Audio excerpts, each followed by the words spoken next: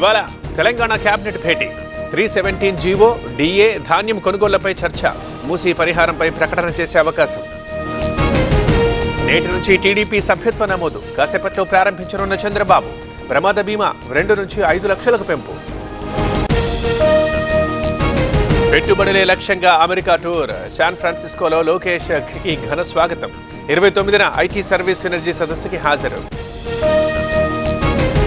కాసేపట్లో కొడంగల్కి సీఎం రేవంత్ రెడ్డి మద్దూర్ రేగడి మైలారంలో పర్యటన ఇటీవల చనిపోయిన కార్యకర్తల కుటుంబాలకు పరామర్శ. ఎస్ఐబి మాజీ చీఫ్ ప్రభాకర్ రావు శ్రవణ్లకి షాక్.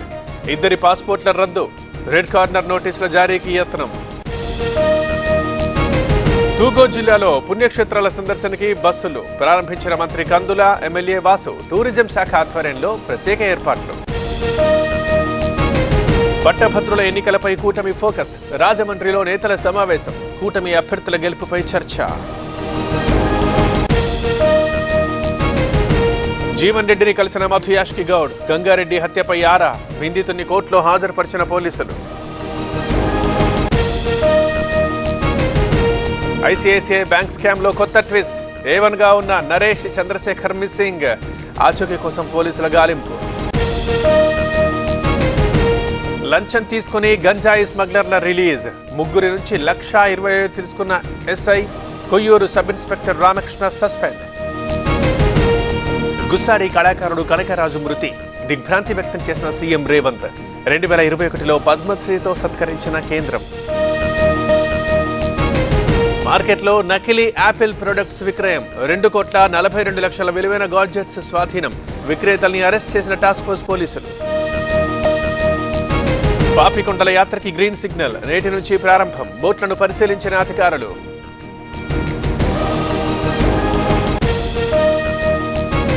విజయవాడ హైవేపై మరమ్మతులు ఎప్పుడు చేస్తారు? రెండు నెలల కిందట కొట్టుకుపోయిన రోడ్డు. ప్రమాదాలపై జగ్గయ్యపేట ఎమ్మెల్యే ఆగ్రహం. తిరుపతి హోటళ్ళలో మరోసారి తనిఖీలు. బాంబు బెదిరింపులతో సోదాలు. బాంబ్ స్క్వాడ్తో హోటళ్ళలో సర్చింగ్. కామారెడ్డిలో లింగ నిర్ధారణ ముఠా అరెస్ట్. శ్రీరామ్ నగర్ కాలనీలో తనిఖీలు. రెండు సోనోగ్రఫీ లింగ నిర్ధారణ యంత్రాలు స్వాధీనం. తమిళనాడులో భారీ వర్షాలు. ఏడు జిల్లాలకు ఆరెంజ్ అలర్ట్. మధురైలో కుండపోత లోతట్టు ప్రాంతాలు జలమయం. కొల్లేరు ఆక్రమణలతోనే బుడమేరుకు వరద. ఇప్పటికైనా ఆక్రమణలు తొలగించాలి. సిపిఐ జాతీయ నేత నారాయణ డిమాండ్.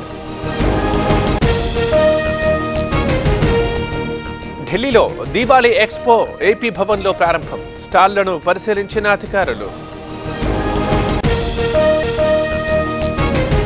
పూణే టెస్ట్లో భారత్ టార్గెట్ మూడు వందల యాభై తొమ్మిది మంది పరుగులు.